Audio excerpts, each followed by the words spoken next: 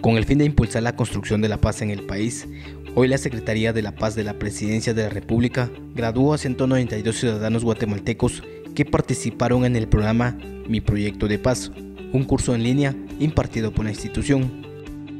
La formación ofrecida tuvo una duración de dos meses y fue impartida a personas de 17 departamentos, quienes desarrollaron proyectos de derechos humanos que podrán ser llevados a la práctica en los municipios de origen de los participantes.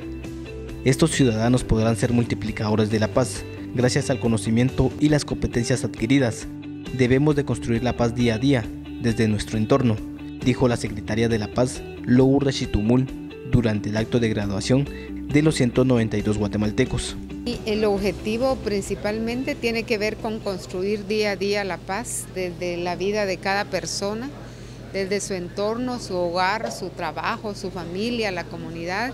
Y nos congratulamos como Secretaría de la Paz estar entregando una promoción de 192 estudiantes, hombres y mujeres, y es importante ver cómo personas mayores de 60 años hacen el, curso virtual, eso es fantástico. Tenemos compromiso con las jóvenes generaciones y con la niñez de Guatemala.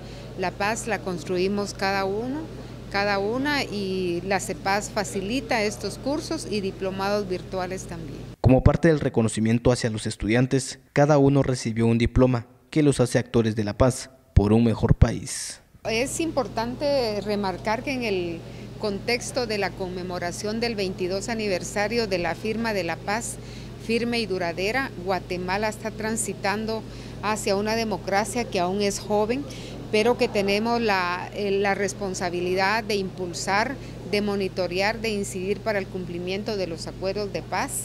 Y aquí quiero citar la voluntad del señor presidente y el vicepresidente para que sigamos trabajando desde la Secretaría de la Paz con los ministerios del organismo ejecutivo que son los responsables de implementar la, la política pública y que incluye los acuerdos de paz. Para el 29 de diciembre esperaríamos nosotros presentar ya avances importantísimos, resignificar esa fecha que es vital para los guatemaltecos, cuando dijimos ya no más al fuego y nos queda la responsabilidad adultos, jóvenes y niños de los tres órganos del Estado trabajar por la paz de Guatemala.